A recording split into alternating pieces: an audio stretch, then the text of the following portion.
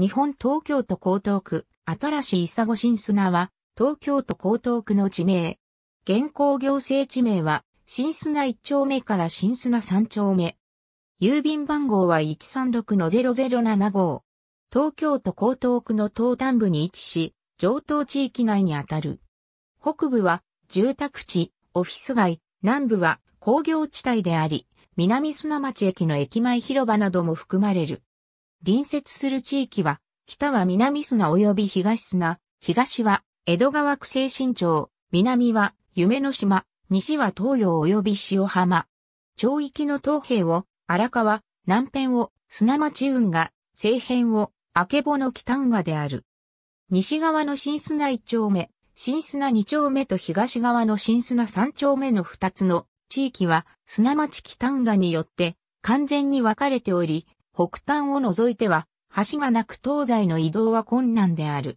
西側の北部は東洋町駅に近く大企業の本社などがある。北部から中部にかけては総武快速線、新小岩信号場駅から分岐した貨物支線が走っており、越中島貨物駅につながっている。新砂は歴史的に越中島貨物駅と密接な関係があり、現在でも大企業の物流倉庫や自社専用のトラックターミナルが多いようである。江東区は倉庫業の盛んな地域だが、特に新砂には地域を代表する集配拠点が集まっている。北部には佐川急便の東京店があり、塩見駅に近い南部には日本通運の中央ターミナルや日本郵便の新東京郵便局がある。新砂に集まる荷物は1日に1万5千トンと言われている。新砂の西側は塩浜や夢の島と橋でつながっており、首都高速湾岸線を利用しやすい。東側は荒川右岸川口部に位置している。北部は南砂町駅に近く住宅地や商業地となっており、新砂大橋により江戸川区とつながっている。東側は南部を中心に東京都水道局高等給水所、東京都下水道局砂町水再生センターや東部、汚泥処理プラント、東京電力高等変電所などの大規模な公共供給施設が存在している。下水道局の余熱は地域の冷暖房として利用されており、高齢者医療センターなどに供給されている。南端には新砂水門があり、東京港の外縁を守っている。今のところ夢の島への橋はないが、将来的には補助144号線が計画されており、放射16号線と国道357号をつなぐ予定である。また、新佐大橋の開通以降、東側にも東京国際郵便局などの物流施設が集まり始めている。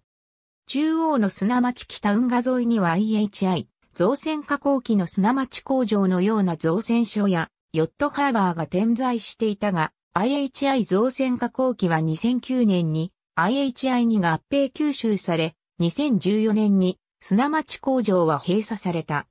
北運河とつながる砂町運河は、交通量の多い幹線で、東京水辺ラインなどが通っている。名前の由来は、砂町を開発した砂村新左衛門に由来する。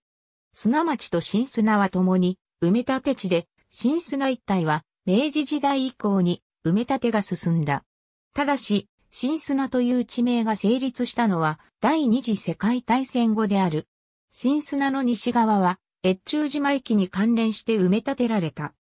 新砂二丁目は、東京港の越中島駅敷地造成事業計画の一環として造成された砂町東部埋め立て地で、1938年から本格的に埋め立てが始まった。陥落地であった須崎の東に位置しており、造成事業が始まる直前の1936年には須崎球場が作られた。越中島支線より南が埋め立てられたのは戦後で、1963年頃には現在のような形になっていたようである。新砂の東側は荒川放水路の河口として埋め立てられた。1947年頃は砂町下水処理場が島になっており、造船所は直に海に面していたが、現在は川口付近がスーパー堤防化されている。2004年には新佐大橋が開通し、これに伴い新佐渡地区が整理事業が行われた。事業により南砂町駅の南側を中心に再開発が進み、永代通りの北側に大規模なマンション、南側には病院や商業施設が完成した。2010年代に入っても開発は続き、2011年からは南砂町駅の改良工事が始まり、2014年3月にはアシックス本社ビルが完成した。一方、それ以外の新砂の大半は今なお工業、専用地域であり、江東区としては2010年代以降もこれを維持する予定である。2017年12月1日現在の世帯数と人口は以下の通りである。区立小中学校に通う場合、